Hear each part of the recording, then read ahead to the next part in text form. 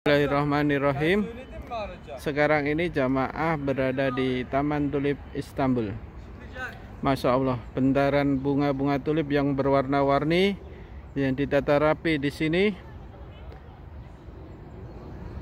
sebagaikan sebuah karpet. Ini, lihat.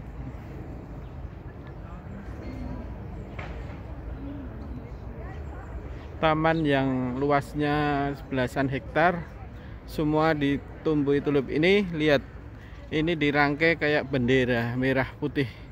Sangat cantik sekali. Itu ada tulip warna kuning merah putih. Di atas sana juga berbagai warna tulip. Dan indah semua. Dan ini jamaah menikmati foto-foto selfie di sini.